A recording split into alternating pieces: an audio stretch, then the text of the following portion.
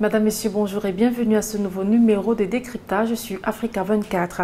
Créée en novembre 2018, la nouvelle Convergence citoyenne est l'un des nouveaux partis sur l'échiquier national politique en Côte d'Ivoire. Ce parti social-démocrate envisage même déjà une candidature à la présidentielle de 2020. Son président, Thomas Noba, est notre invité dans ce nouveau numéro de décryptage. Votre parti prône la politique autrement. À quoi renvoie ce concept? La politique, autrement, comme le stipule euh, notre slogan, c'est de lutter contre la corruption, l'immoralité, l'insécurité et tous les maux qui gangrènent la vie politique en Côte d'Ivoire. Si on va un peu plus loin, je peux évoquer aussi, durant 26 ans, le pays a été gouverné par quatre grands partis qui avaient mis un système en place, qui n'avaient aucune perspective pour la jeunesse. Alors, la politique, autrement, c'est de mettre en place un nouveau système, surtout d'étaler l'esprit républicain au sein de la vie politique en Côte d'Ivoire et dans la vie et le comportement des Ivoiriens. Il faut prôner d'abord la Côte d'Ivoire. La nouvelle convergence citoyenne participera-t-elle à la présidentielle de 2020 et qui sera le candidat? Quand tu mets en place un parti politique, c'est conquérir le pouvoir. Alors ça veut dire que la NCC va conquérir ce pouvoir en 2020 aussi. Nous menons des actions d'abord sur le terrain et pour faire comprendre à la population que L'Alliance a détruit la Côte d'Ivoire. L'Alliance a divisé les Ivoiriens.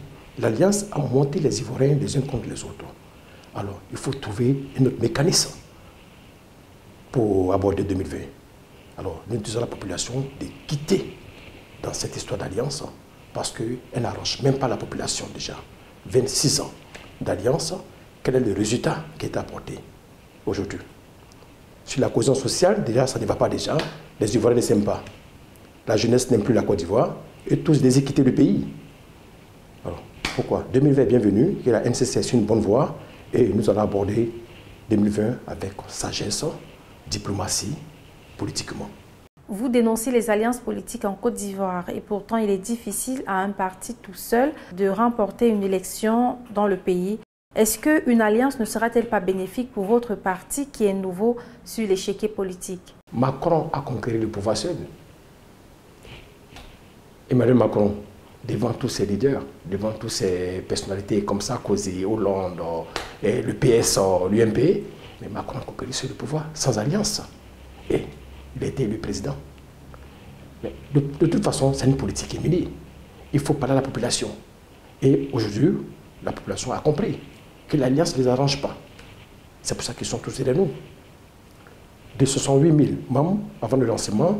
Aujourd'hui, de Bono à 280 000 membres. Aujourd'hui, on peut attendre au moins 600 000 membres. C'est parce que la population adhère à cette vision. Quand tu mets en place un parti politique, c'est de soumettre ta vision, tes projets à une population. C'est censé de mettre un, parti politique et puis d'avoir comme euh, programme une alliance. C'est irrespectueux vis-à-vis de la population déjà. Quel regard portez-vous sur les différentes propositions pour la réforme de la commission électorale indépendante? Ça fait dix ans que la CI existe. Mais tout ce que je pourrais dire, est-ce que le gouvernement en place va réformer cette CI Est-ce que Youssouf Bakaïko va quitter la CI C'est la question qu'il faut se poser. Mais les opposants, jusqu'à aujourd'hui, ça veut dire que sept ans, n'ont pas pu trouver une formule déjà pour contrer ce gouvernement. Mais nous, LCC, nous avons une formule déjà. J'ai dit, on va conquérir ce pouvoir en 2020 parce que nous avons une formule. Parce que le gouvernement en place ne va jamais muter sous. Ça, c'est clair et net, ça. Puisque depuis, ça traîne, ça traîne, ça traîne. Mais nous, NCC, nous avons notre formule. Nous avons notre programme. Je vous dis que tout ce qui se passe, ce sont des bruits. Nous sommes à moins de deux ans de la présidentielle de 2020. Les tons se durcissent également dans les différents états-majors politiques. Devrions-nous avoir peur de cette atmosphère? Je ne pense pas que c'est l'intérêt du gouvernement en place euh, de, mettre de voir ce bruit-là encore, bien ces malveillances encore, pour prendre encore l'élection 2020. Je ne pense pas. Alors le gouvernement a intérêt de mettre tout en œuvre pour que ce, ce élection puisse bien se passer. Alors, le gouvernement a intérêt de mettre tout en œuvre pour que tout puisse bien se passer.